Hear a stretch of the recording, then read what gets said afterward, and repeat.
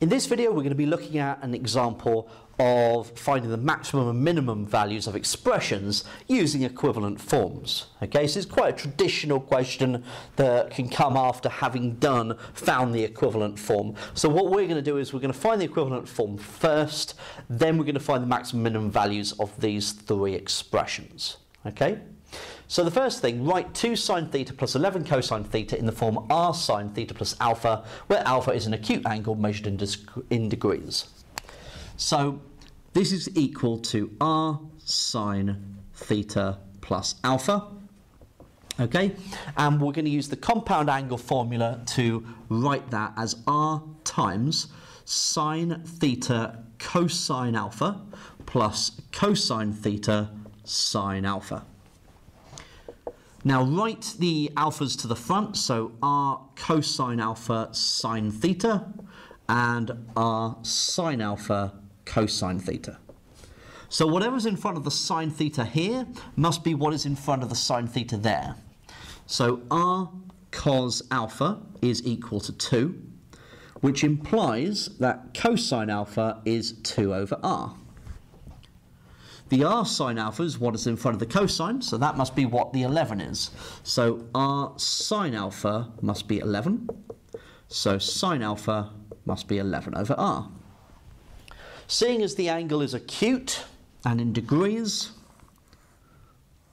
let's draw a little right angled triangle. Here's alpha. If sine alpha is 11 over r, then that's the opposite over the hypotenuse. Cosine is adjacent over hypotenuse, so that's our right angled triangle. We can work out r using Pythagoras. r is the square root of 2 squared plus 11 squared. So 11 squared is 121, plus 4, so 125. So um, 25 goes into that 5 times. That's 5 root 5. And also we can work out alpha. That will be the inverse tan of 11 over 2. So make sure your calculator is in degrees. Inverse tan of 11 over 2 is 79.7 degrees to one decimal place. Okay, and so we have done what was required of us. Writing this in this format would be equal to 5 root 5 sine of theta plus 79.7 degrees to one decimal place. Okay, so that's the equivalent forms part. Now, what we need to identify from this and understand is how the curve of sine theta is transformed to this. Now, two transformations are going on. One transformation is a translation transformation is a translation by the vector minus 79.7 and so the curve is going being shifted 79.7 degrees to the left. Now when you're thinking about the maximum and minimum values of the sine curve here's the sine curve we know that its minimum is at minus 1 its max is at 1 so if you are shifting the graph horizontally, the minimum maximum values will remain steady. So this curve here, y equals sine of theta plus 79.7 degrees, that has a minimum of minus 1 and a max of 1. This bit here, though, this is a stretch parallel to the y-axis by factor 5 root 5. And so that stretches the curve so that now its minimum would be minus 5 root 5 and its maximum would be positive 5 root 5. So, if I'm being asked what's the maximum minimum value of this, the minimum value is negative 5 root 5 and the maximum value is 5 root 5. Okay? Right, now, next question then what's the maximum and minimum value of 2 sine theta plus 11 cosine theta all squared?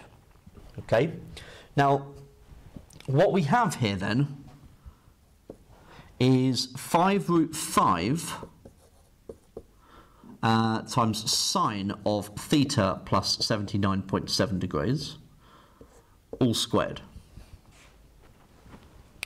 So this would be equal to, well the 5 root 5 was root 125. So squaring that is 125. And this sine squared theta plus 79.7 degrees. Pop in the degree symbol. Okay. Now, what's the maximum minimum values of that? Well, the sine squared, we know that sine went between minus 1 and 1. If you're squaring that, minus 1 squared is 1. 1 squared is 1.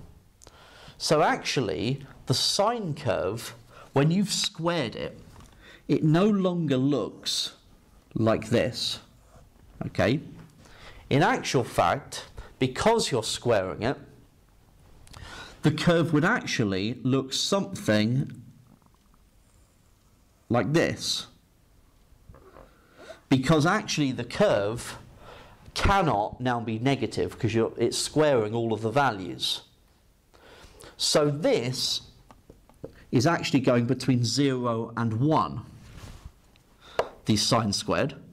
And then when you're multiplying it by 125, that means that the minimum will still be 0, but the maximum will be 125.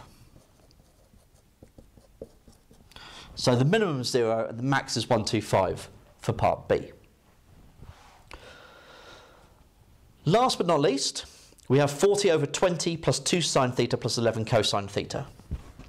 Now we know what that equivalent is equivalent to, so that's what we worked out initially. So we've got 40 over 20 plus 5 root 5 sine of theta plus 79.7 degrees. we know that this part, the sine, goes between minus 1 and 1. So really what we're investigating is 40 over 20 plus 5 root 5 and 40 over 20 minus 5 root 5. Okay? So, 40 divided by 20 plus 5 root 5 is 32 take away 8 root 5 over 11. That's with it's a simplified rationalised denominator. This is approximately 1.28. 40 over 20 take away 5 root 5 is 32 plus 8 root 5 over 11. And so that's approximately 4.54. So what you're seeing here is that the minimum value is actually this one. And the maximum value is actually this one. The curve is bounded between these two values. Okay? So what you need to be careful here is that you kind of get used to saying, ah, oh, well, when it's uh, when sine is positive, so positive one, then I'm getting its maximum. But that's not actually what's happening here because the denominator is being made larger, which makes the fraction smaller. And when you're doing the subtraction, you're making the denominator smaller, which makes the fraction bigger. Okay, so it's actually the other way around to how you would have initially perhaps expected. But this is how you can find the maximum and minimum values of questions that look like this.